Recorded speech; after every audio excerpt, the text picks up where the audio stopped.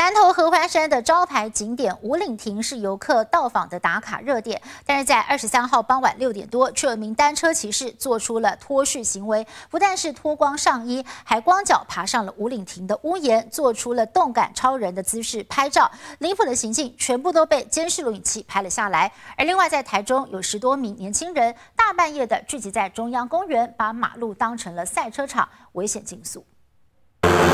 都已经大半夜两点多了，十多人聚集在台中中央公园的启航路，把马路当作赛车场。七辆机车疑似全都没戴安全帽，同时间同一方向往前加速竞标。有人一度翘起前轮，有人趴低冲刺，更有人离谱到几乎是躺平骑车。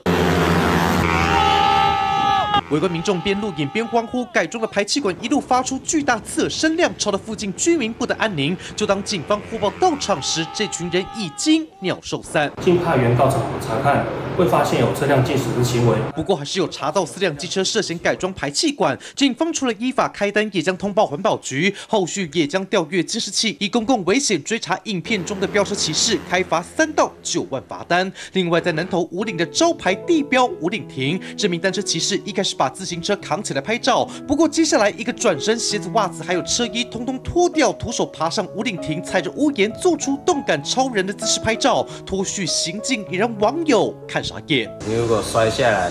也要浪费国家的资源，叫救护车上去载，还蛮像猴子在攀爬，但是还蛮危险的，破坏公众物品与设施之。形式单车骑士行为涉及破坏公众物品，太管处也将依国家公园法开罚三千，呼吁游客错误行为可别玩过头。谢谢唐南头综合报道。